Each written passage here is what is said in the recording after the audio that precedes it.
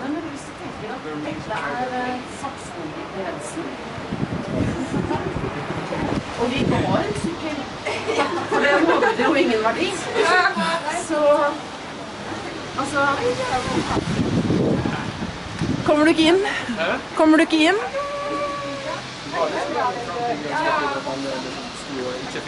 Hva sa du? Det var det trangt inngangspartiet når alle sto og ikke fikk inn.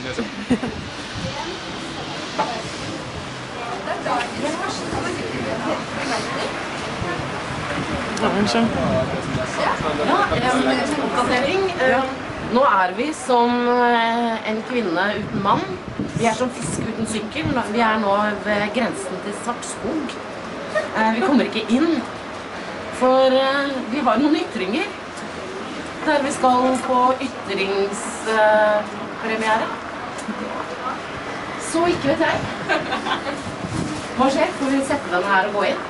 Ja, sjefen kommer. Sjefen kommer. Dere vet det er seniorkino, forresten? Dere vet det er seniorkino? Seniorkino? Får vi, er det aldersgrense? Er vi for unge? Nei, det er ikke aldersgrensen, det er bare litt lavere lyd enn vanlig. Jeg tror det går helt fint. Vi har bedre hørsel enn det de har. Sånn. Så vi takler det ganske Vi har bedre hørsel enn oss. Ser du vi har ja, vi, vi har ikke vokst opp med en seniorkino, dere vet det. Er premiere. Ja, ja. Den, altså, men det er sant, dere må gjerne gå på, men kanskje dere vet det, så er det lavere lyd enn det det har vært på en annen. Men er det sånn at dere har tenkt at denne, denne filmen her er eh, egentlig mest aktuell for eh, kvinner eh, som har Vi kan ikke uttale oss om noen ting. Vi er nøytrale, Ja. så det kan vi ikke Har okay. du noe, så må du ta kontakt med Ja, Det kan ikke vi uttale oss om. Nei, det er greit. Men eh, dere må nesten legge bort tid, for dette er en privat eiendom.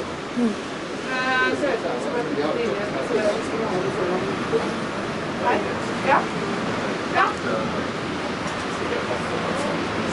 Ja, bare legg det på det selv. om du gjør det. Jo. Så eh, var eh, senior.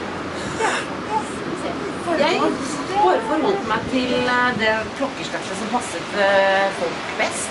Men det var jo premiere. Det var klokken fire, og det passet folk dårlig fordi de skal jobb. Yes, vil dere komme og legge fra dere bannerne? Ja, det vil vi med glede. Hvor da? Ingen der?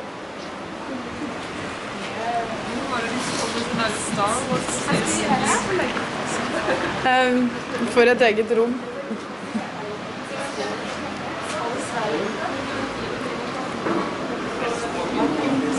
Jeg så vel ikke noe forskjell på det. Det, jeg syns det er veldig interessant. Det er dritinteressant.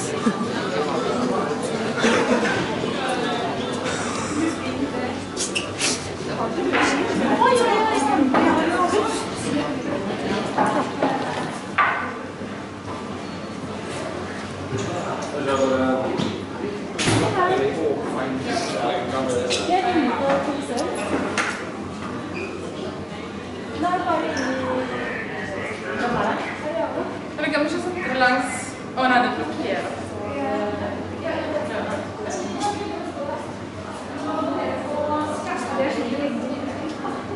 var litt sånn kjipt.